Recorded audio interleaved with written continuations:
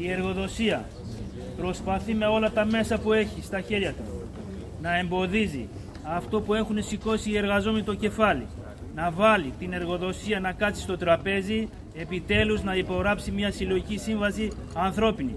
Δικαίωμά μας είναι, δίκαια δικαίωμα έχουμε θέση στην εργοδοσία, να έρθει, να κάτσει και εμείς θα κάνουμε τα πάντα. Αυτό που πρέπει να κάνουμε εμείς οι εργαζόμενοι να συσπηρωθούν στο συνδικάτο τους, στο κλαδικό, στο επιχειρησιακό και να τους κάνουμε να έρθουν μόνοι τους. Και θα έρθουν.